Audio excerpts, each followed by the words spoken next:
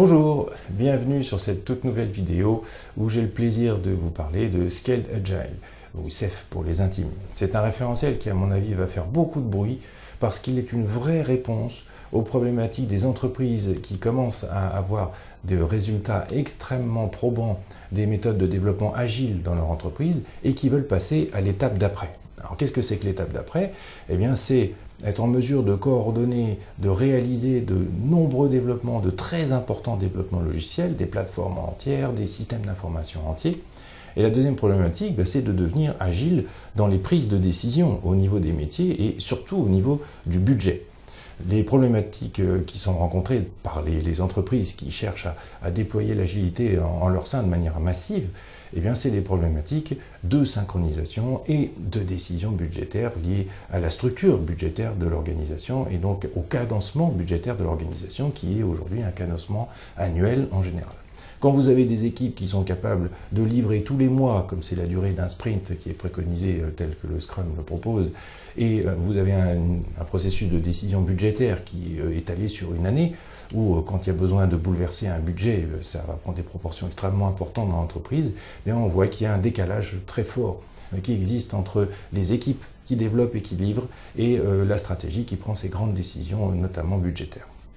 Scaled Agile est une vraie réponse à cette problématique-là, et je pense qu'elle va vous apporter un certain nombre d'informations, une vision euh, de la façon dont euh, ces deux problématiques peuvent être gérées dans des entreprises qui euh, veulent passer, encore une fois, à l'étape d'après et qui ne peuvent plus se contenter de quelques équipes agiles, quelques 5, 6, 10 équipes agiles en leur sein. Alors vous n'avez peut-être jamais vu ce référentiel et, notamment cette, cette diapo, c'est SAFE, tel qu'il est proposé aujourd'hui, ça peut paraître un tout petit peu, compliqué. Alors Safe aujourd'hui en est à sa version 4. Hein. et euh, quand on va commencer à décrire un tout petit peu le contenu, eh bien on va s'apercevoir euh, que ce référentiel il est relativement clair et vous allez retrouver la plupart de vos, euh, de vos repères parce qu'il est sous forme de poupées russes qui sont plus ou moins optionnelles en fonction de la taille de l'entreprise. Un grand apport de Scaled Agile, c'est de traiter de la problématique de la synchronisation de nombreuses équipes de développement. Lorsque vous avez 5, 10, 20 équipes de développement qui travaillent sur un même sujet, qui travaillent sur une même application, le Scrum of Scrum, qui est la réponse du euh, Scrum Guide, n'est pas suffisante. Scaled Agile propose une réponse qui est un niveau supplémentaire au-dessus du niveau équipe, qui est le niveau programme. Et le niveau programme livre des features. Elle ne livre pas des incréments de fonctionnalités, elle livre des features complètes, euh, sous la forme de d'Agile Release Train, qui sont des euh, organisations euh, virtuelles, hein, formées de 50, 125 personnes, qui travaillent sur une même application, sur un même domaine, c'est-à-dire de 5 à 12 équipes agiles en fait. Cet Agile Release Train, il est cadencé de manière très très forte, on le verra juste après, et c'est un des cœurs du, du système SAFE. Quand on est dans des processus de digitalisation de l'entreprise, on va embarquer non pas simplement des features dans des applications, mais des processus métiers. Et là, du coup, il faut être en mesure de synchroniser des dizaines d'Agile Release Train, d'ART, de manière à ce qu'ils livrent tous au bon moment, au bon niveau du processus, la valeur ajoutée pour l'entreprise. C'est pourquoi le niveau value stream a été créé, parce que c'est celui où on va livrer de la capacité. On va donner à l'entreprise la capacité, on va la rendre capable de faire quelque chose. Et ce quelque chose, c'est souvent une partie de processus informatisé dont les outils ont été développés par les ART, les Agile Release Train. Et enfin, pour obtenir les crédits de l'ensemble de l'entreprise pour tous les sujets embarqués dans le projet de digitalisation, il y a un quatrième niveau qui s'appelle le portfolio, où là, on va mettre dans un backlog euh, l'ensemble des euh, sujets d'investissement, des épiques, des grandes histoires génériques euh, qui vont permettre à, l'entreprise de prendre ses décisions et de mettre les, les moyens financiers sur les bons sujets. Voilà les quatre niveaux de SAFE. Une fois qu'on a décrit les niveaux de SAFE, on va décrire les rôles et les responsabilités qui sont derrière ces différents niveaux. Alors on va retrouver au niveau de l'équipe de développement, la dev team, on va retrouver les rôles que vous connaissez si vous connaissez Scrum, on va retrouver les team members, la GL team, on va retrouver le Scrum Master et on va retrouver le Product Owner qui est celui qui connaît le besoin client. Ces, trois rôles hein, en fait ne sont pas changés par rapport à, Scrum et ils fonctionnent très très bien. L'idée c'est d'aller au niveau du dessus et euh, d'embarquer un certain nombre de rôles supplémentaires pour faire en sorte que la synchronisation de ces multiples équipes, puisqu'on parle dans un Agile Release Train de 50 à 120 personnes, c'est-à-dire en gros de 5 à euh, une dizaine d'équipes agiles, eh bien, il faut en faire en sorte que la synchronisation se euh, fasse bien. Alors, quand on est au niveau du programme, on a euh, quatre rôles importants. On a les business owners, qui sont ceux qui comprennent le besoin client, qui comprennent le besoin d'entreprise et qui sont capables de l'exprimer euh, et faire en sorte que l'ensemble des équipes qui travaillent sur la problématique soient bien alignées. On a un conducteur de train, puisque l'idée du train, c'est pas tout à fait anodin, c'est de faire en sorte que ça soit quelque chose qui avance par étapes, de manière cadencée, et qui s'arrête toujours à un certain nombre de gares qui sont les points de livraison, dont on va parler un peu plus tard. Ce conducteur de train, ça s'appelle le RTE, le Release Train Engineer.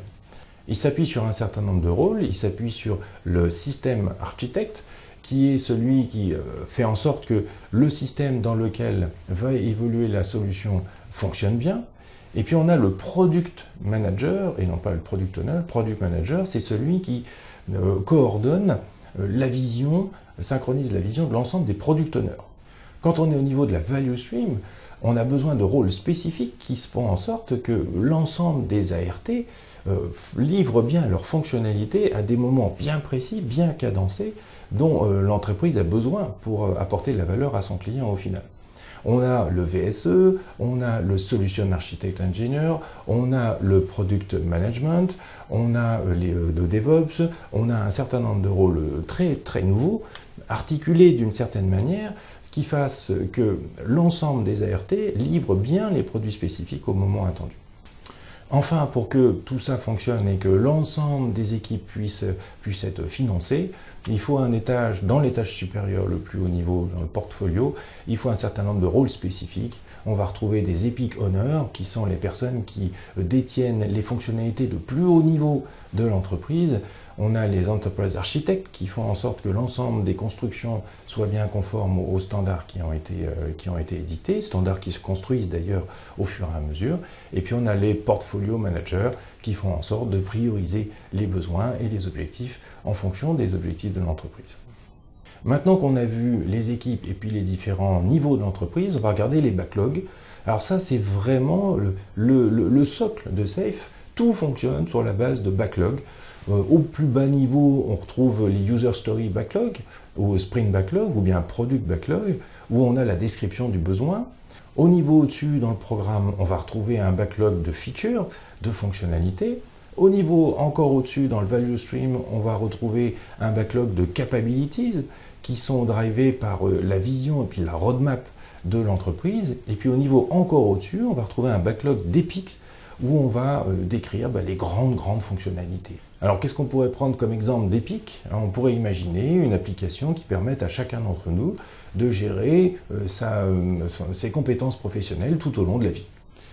Une capability, du coup, qui en résulterait, une parmi tant d'autres, hein, ça serait de pouvoir suivre l'ensemble des formations et des compétences dont je dispose tout au long de ma vie.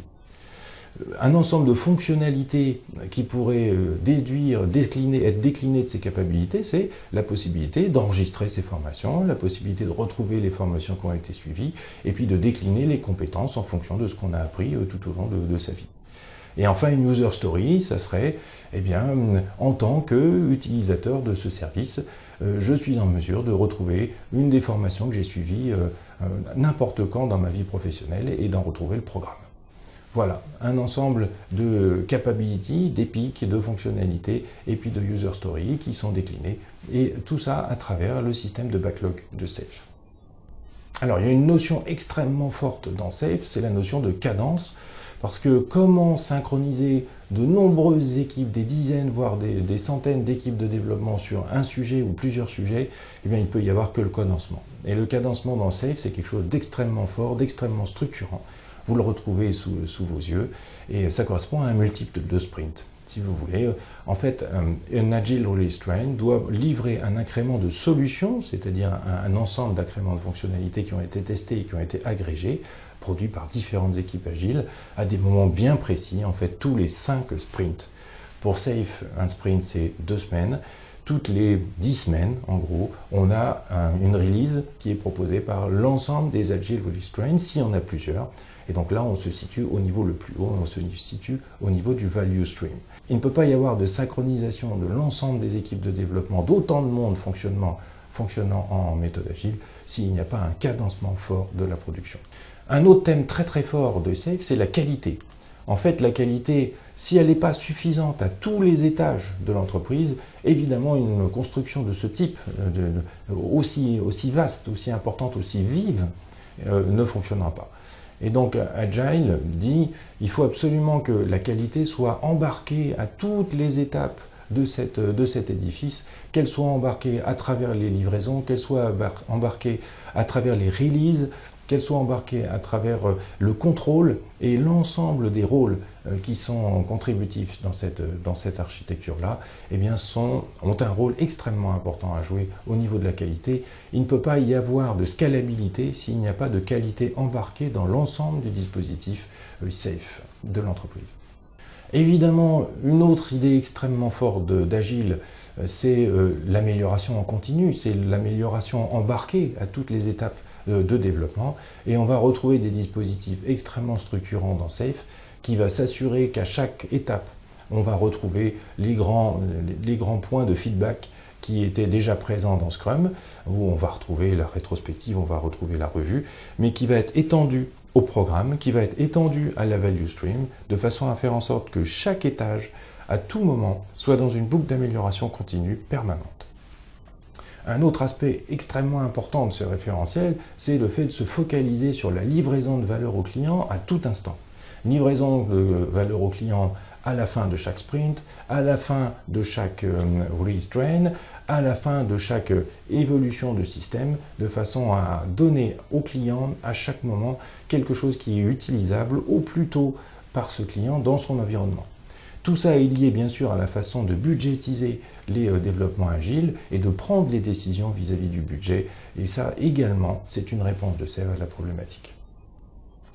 Au final, vous voyez que rapidement brossé, évidemment, on n'a pas passé beaucoup de temps sur le sujet, vous voyez à quel point cette démarche, elle est structurée, elle est puissante, elle permet de synchroniser de multiples équipes agiles euh, fonctionnant les unes avec les autres, les unes grâce aux autres, de façon à livrer la valeur au client le plus vite possible, avec un time to market le plus réduit possible et avec une facilité de euh, financement également adaptée pour répondre aux besoins d'agilité de l'ensemble de l'entreprise. C'est pour toutes ces raisons que nous venons de voir, et vous voyez à quel point ce référentiel est équilibré, il, répond à une vraie problématique de synchronisation et de scalabilité de la méthode agile dans l'entreprise. C'est pour ces raisons qu'à mon avis, ce référentiel va jouer un rôle absolument majeur dans les organisations demain et leur faculté à s'adapter et à livrer euh, de plus en plus rapidement des solutions de plus en plus souples, de plus en plus versatiles, avec un time to market extrêmement réduit. Je vous remercie de votre attention.